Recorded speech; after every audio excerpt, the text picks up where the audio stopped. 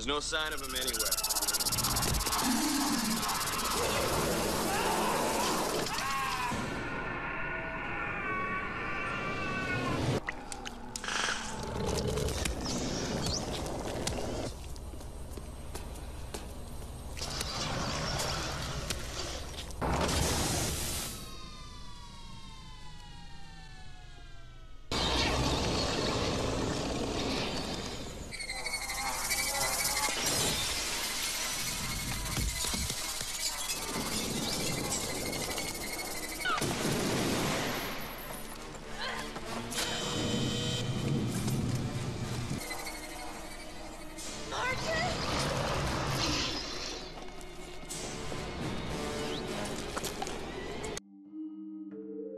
Uno de los monstruos trágicos y mutaciones más grotescas, interesantes y escalofriantes que hemos podido ver en el género de la ciencia ficción y en el cine del horror clásico es la criatura conocida como la Martinfly, también conocida como la Mosca Martin o como el hijo de la mosca, quien es realmente Martin Brundle, el hijo de Seth Brundle, o de la criatura conocida como la Brundlefly.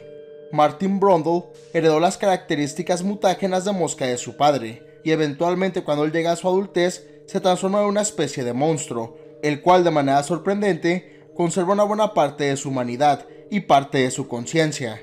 Es debido a su interesante historia, lo grotesco y poderoso que llega a ser, junto con sus increíbles habilidades que son superiores a las de su padre, que la Martinfly o la Mosca Martin es considerado por muchos de los fans del género como un monstruo bastante genial y uno de los más infravalorados e interesantes en el cine del horror y la ciencia ficción. Es por eso que en este video explicaré detalladamente la historia de los orígenes de la Martinfly o la mosca Martin y luego hablaré a detalle sobre la información que conocemos de este monstruo y sus diferentes características. La Martinfly o la mosca Martin es el hijo del hombre que se transformó en la Brundlefly. Este aparece en la película de La Mosca 2. Martin Brundle es el hijo de Seth Brundle, quien era el hombre que experimentó con los dispositivos de teletransportación llamados telepods. Este muchacho nació de su madre Verónica Quaid, quien trágicamente murió cuando dio luz a este. Martin nació de una manera muy peculiar, ya que estaba dentro de una especie de capullo grotesco, el cual se abrió y reveló que un bebé aparentemente normal y completamente humano estaba dentro. El bebé fue criado por Anton Barton, quien era el dueño de la compañía Barton, la cual financió los experimentos de teletransportación de Seth Brundle. Anton Barton conoce todo lo que le pasó a Seth y cómo este se combinó genéticamente con una mosca. Es por eso que decide adoptar al niño de cierta manera y criarlo en sus laboratorios. Curiosamente, Martin Brundle es muy brillante y tiene el síndrome de crecimiento acelerado. Él fue criado por la compañía, la cual estaba tratando de replicar los experimentos de teletransportación de su padre. Sin embargo, ellos estaban fallando mucho. Originalmente todos los científicos de la compañía Barton pensaron que el niño presentaba el síndrome de crecimiento acelerado, pero ninguna mutación de mosca. Martin en general crece en un entorno clínico y su madurez física y mental está muy acelerada. Es por eso que este posee el intelecto de un genio y a sus pocos años tiene la madurez de un adulto. Asimismo él cuenta con reflejos increíbles y no necesita para nada del dormir. Él sabe y está consciente que está creciendo más rápido que un humano normal, sin embargo no conoce la causa específica de esto, y le dicen los científicos de las industrias Barton que su padre padecía del mismo síndrome y murió de la misma enfermedad. Es por eso que lo están estudiando a fondo. Afortunadamente para él, los genes mutantes de Martin permanecen inactivos durante toda su infancia. Sin embargo, estos se activan cuando él crece. Al mismo tiempo, él fue asignado a que liderara el proyecto de teletransportación, donde poco a poco fue descubriendo los secretos de la muerte de su padre y de él mismo. Eventualmente la mutación de Martin empezó y le empezaron a salir llagas en su cuerpo, y de esa le salía una sustancia que era como seda. Él eventualmente se da cuenta que tenían cámaras en su cuarto, y por eso él se escapa de los laboratorios con su novia Beth. Ellos no logran conseguir una respuesta satisfactoria de qué es lo que le está pasando realmente a Martin, y después de que hablan con Statis Borins, quien sobrevivió a su encuentro con la criatura Brundlefly, Martin de manera instintiva hace una especie de capullo con la seda que sale de su cuerpo, por eso Beth llama a la compañía Barton para que se lo lleven. Después de un corto tiempo de gestación, Martin salió de su capullo en una nueva monstruosa forma, conocida como la Martinfly. Es así que la Martinfly desata caos en los laboratorios Barton y mata a cualquiera que se ponga en su camino, como a los diferentes guardias de seguridad que lo atacan. Es así que este llega al laboratorio donde trabajaba con los telepods, donde Anton Barton tiene a Beth. La criatura ataca a Barton y mata a su equipo de seguridad. Sin embargo, Anton le dispara a Martin y luego este se hace el muerto. Después Anton Barton se acerca a ver a la criatura, la cual piensa él que está muerta. Es así que la Martin Fly se levanta y luego agarra al hombre. Posteriormente este lo mete en el telepod, donde Martin activa una secuencia de intercambio de genes, convirtiendo así al señor Barton en una horrible criatura, mientras que Martin regresa a la normalidad. Esto lo hace así Martin, ya que él sabe lo cruel y malvado que es Anton Barton, debido a que anteriormente utilizando los telepods, el hombre había matado a un perro de los laboratorios. En su apariencia física, la Martin Fly es mucho más natural, ya que pese a ser un híbrido, este nació con los genes de mosca. La Martin Fly es una alta criatura humanoide, con una piel de color verdoso y café oscuro. Por lo general adopta una postura bípeda y separan sus patas traseras, que terminan en unas afiladas garras. La criatura también cuenta con cuatro brazos, los cuales terminan en unos dedos con unas garras muy afiladas también. La cabeza de la criatura posee dos grandes ojos, los cuales tienen un aspecto como de insecto. La parte inferior de su boca consiste en dos mandíbulas que se abren de manera horizontal, y estas son algo parecidas a las mandíbulas del depredador y de los Reapers de Blade. La Martinfly posee una fuerza superhumana, la cual utiliza para atacar a sus enemigos y víctimas. Posee la habilidad de trepar paredes y techos a voluntad, debido a las características que sus brazos poseen. Cuenta también con una especie de vómito corrosivo, el cual utiliza para matar a las personas que lo atacan de forma directa, y esta habilidad la podemos ver bien en esa icónica escena donde la criatura mata a un guardia de los laboratorios, derritiendo su cara.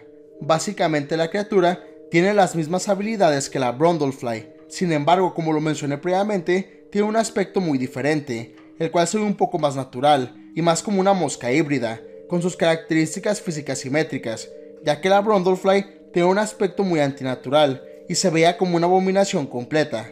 El responsable de los efectos especiales y de diseñar a la criatura de la primera película fue Chris Wallace, quien no solamente quiso trabajar en la segunda película, sino también dirigirla. Él quiso mostrar más a la criatura, y que fue una película muy diferente en esencia a la original, con un poco más de acción en lugar de suspenso.